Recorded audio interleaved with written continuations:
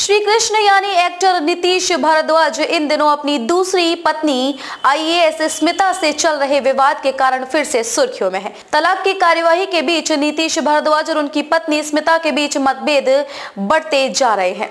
Actor ने हाल ही में अपनी अलग रह रही पत्नी स्मिता के खिलाफ मानसिक शोषण का आरोप लगाते हुए पुलिस में शिकायत दर्ज कराई थी। हालाँकि उनकी पत्नी का बयान भी सामने आया और उन्होंने नीतीश के आरोपों को निराधार बताया है।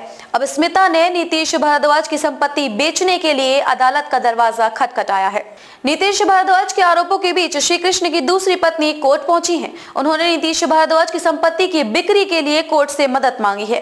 तेईस फरवरी को स्मिता भारद्वाज ने मुंबई की फैमिली कोर्ट से नीतीश की संपत्ति की बिक्री के लिए मदद मांगी है। उन्होंने तलाक के एवज में पैसों की मांग की है। स्मिता ने यह भी आरोप लगाया है कि कोर्ट के आदेश के बावजूद नीतीश बच्चियों की परवरिश के लिए एक रुपया नहीं दे रहे हैं, जबकि उन्हें हर महीने बेटियों के खर्च के लिए दस दस हज़ार रुपए देने का आदेश दिया गया है। स्मिता ने कोर्ट में नीतीश भारद्वाज के वादे के मुताबिक अपनी दोनों बेटियों के लिए दस दस हज़ार रुपए महीने की रकम की रिकवरी के लिए याचिका दायर की है। इस याचिका को डार्क हास्ट कहते हैं। सूत्र ने कहा है कि अदालत ने प्रतिबद्धता को विधिवत दर्ज किया है, जिसके आधार पर एक अंतरिम आदेश पारित किया गया है। नीतीश की एक्स वाइफ ने उनके पुराने सामान की बिक्री के लिए अदालत से गुहार लगाई है, ताकि वो उस सामान से मिले पैसे से अपनी बेटियों की परवरिश कर सके। वहीं जब इस मामले पर ज़्यादा जानकारी के लिए आईएएस स्मिता के वकील चिन्मय वैद से जानकारी मांगी गई तो उन्होंने कुछ भी कहने से इनकार करते हुए कहा कि मैं केवल इतना कह सकता हूँ कि फैमिली कोर्ट में एक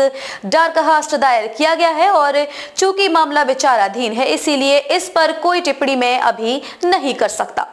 खबरों में अब तक के लिए बस इतना ही। फिर होगी आपसे मुलाकात ऐसी किसी बड़ी और खास खबर के साथ। तब तक के लिए नमस्कार और देखते रहिए जन अखबार न्यूज़।